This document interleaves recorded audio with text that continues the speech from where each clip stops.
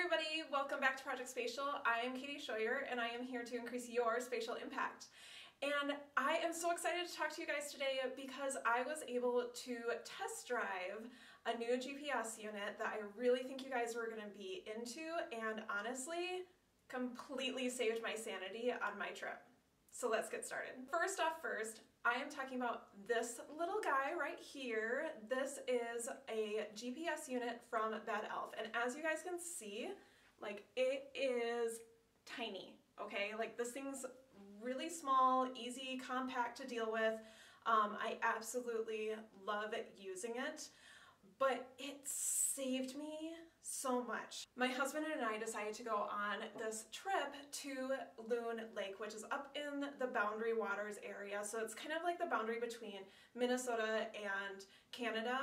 And there's a protected canoe Boundary Waters area up there. And so we decided to take a trip, get away from COVID, do all these things, and just go see some beautiful scenery.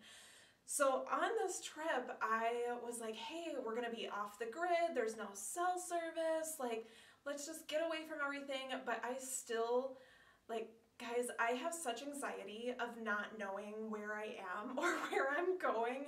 And so I wanted to be able to not only test something out for you that was totally off the grid and just zero cell service at all, but also just something that was practical and useful and something that you could have a little fun with.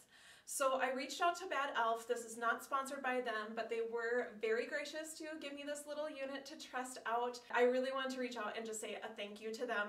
We were going on this beautiful trip and being completely off the grid, I wanted to dive into some real planning. So before we did all of this, I set myself an offline map and since I'm an Esri person, I dig right into that. Um, I wanted to go ahead and create myself a collector so I could do like pictures and be able to figure out what locations they were at and just kind of have some fun with it. So the first thing I did was I went through and created a map, but Guys, I'm a big person with accuracy when it comes to map. It drives me nuts to have a trail map that I can't figure out where the trail is because it's just like this big line on a map. so I grabbed some aerial photography that was from the county and it was really high accuracy that I was actually able to see the trails. So I digitized the trails by comparing the map that I had versus the aerial photography and I digitized all the trails to make my own map. I understand most people are not going to do this for a vacation, but it was something that I just wanted to do and I felt like it was a great way to um, integrate that GPS unit. So I went through, created all the trails, and we were ready to go. I tested out the GPS unit at home. I can kind of show you guys some of the accuracy I got out of my back deck here. And it was like super, super easy to sync up to my phone. So it's a Bluetooth uh, sync into my phone. I was able to get it into my collector app absolutely no problem at all.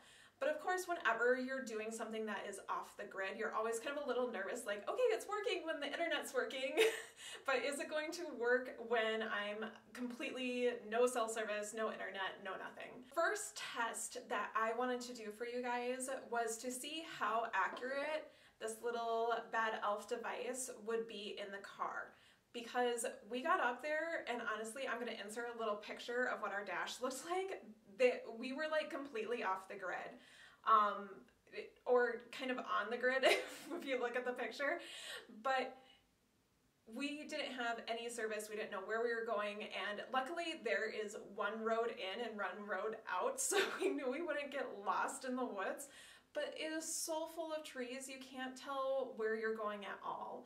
So this little guy was really cool. So I was like, okay, can I create my own little GPS, you know, car mount kind of deal or am I going to get kind of screwed over with the satellites because we have these huge pines on either side of us when we're driving and you can't know for sure. So I threw this thing up in the dash, you know, turned it on, got it up to my phone, threw it up on the dash, and because I had created that offline map already, I pulled that up and we were literally using it just like you would use a GPS unit in your car, which was awesome because it really helped us find the trail that we were looking for to be able to use this the first time.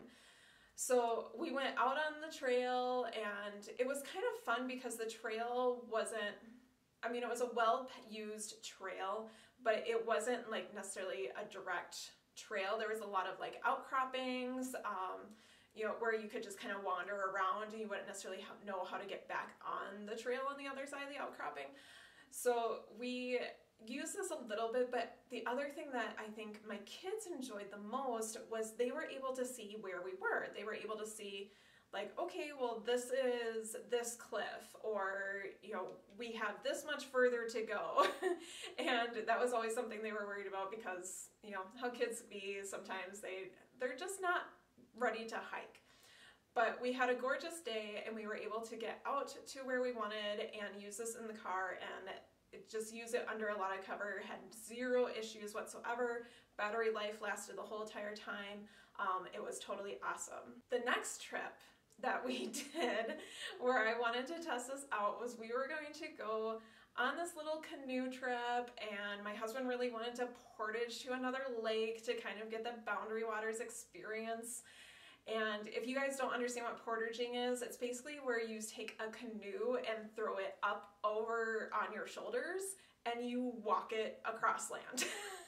so you have to take everything out of the canoes, pack it all up, and then trek over to whatever other lake that you're going to. Out in the boundary waters, they don't use hardly any signs. There's nothing to really tell you like this is where you get off. There's no docks, there's no like cutout areas.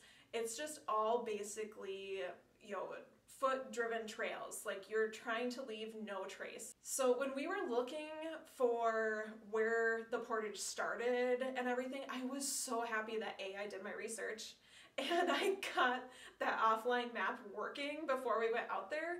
But with this little guy, guys, we were able to figure out exactly where we needed to portage we were able to find the trail, get us in the right spot. We got over into the other lake. Um, and that's when we realized that we couldn't go back. so we did not pick the best day. We were up there for just a few days and we wanted to get out and the wind the first day had been really bad so we didn't go out in the canoes the first day. But the second day we're like, okay, well the wind seems like it's not as bad. And again, guys, like we don't have cell service, so we can't check things. We're just kind of judging by the lake that we were on and everything. And the wind picked up as we canoed out into the first lake, and it was a longer lake. And it picked up, we were starting to take waves over the canoe. Um, it was whitecaps, and we're like, there is no way that we can canoe back. Like, we thought we were gonna be gone for three hours there was no way we were going to get back until nighttime, like when the wind died down. We were just kind of like, okay, well, what do we do? So I had gone through and you know, mapped out a trail to a waterfall that was at the end of Crab Lake, which was the second lake that we portaged over to. So we went through and we were able to use the GPS unit to kind of figure out where a few trails might be that weren't necessarily on the map that I'd kind of seen on the aerial photography. And no luck, no luck at all. So we canoed all the way down to the end of the lake, and it was a smaller lake, so it was easier to canoe on, but still quite a few waves. And we're just like, it's going to be really hard to go back against the wind than go with the wind like we did originally. But we were able to see river otters and it was beautiful, so we were trying to stay positive and we pull off into this little edge and that's that's when this saved my marriage.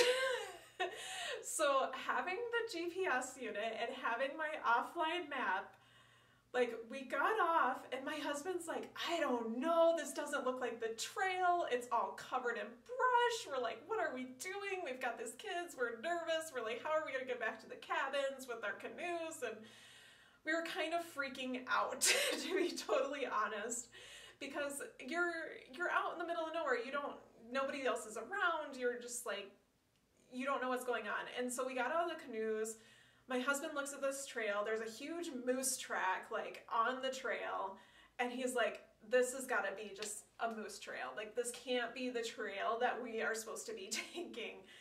And I was like, "Nope." I pulled out my GPS unit, I pulled out my phone with my offline map, and I said, We are exactly where we're supposed to be. And we trusted the map and we trusted our GPS, and we were able to actually hike up to the Borderline Trail, which honestly really isn't that much more of a trail. But we were able to get up to the border trail and then we were able to hike across the border, say hi to Canada, and um, be able to go over to this beautiful waterfall. And we were all so happy to get to the water. We sat there and we took a nap and we had a few snacks, um, filled up our water bottles because we were lucky enough we bought some, or brought some water filtration straws with us. So we were able to fill up our water bottles in the stream and drink with the water filtration straw so we weren't dehydrated and everything. And then we um, hiked back to the canoes and we were able to actually, with a lot of effort, get back across the lakes and get back to our cabins. And we were so excited to get back to the cabins. It was, it was quite the adventure, way more than we originally um, signed up for. But with this little device and with a little faith, we were able to kind of keep our emotions under control and just be able to know like we were okay where we were. And the other peace of mind, just hiking with a family, is really nice. Is I knew exactly what coordinates we were.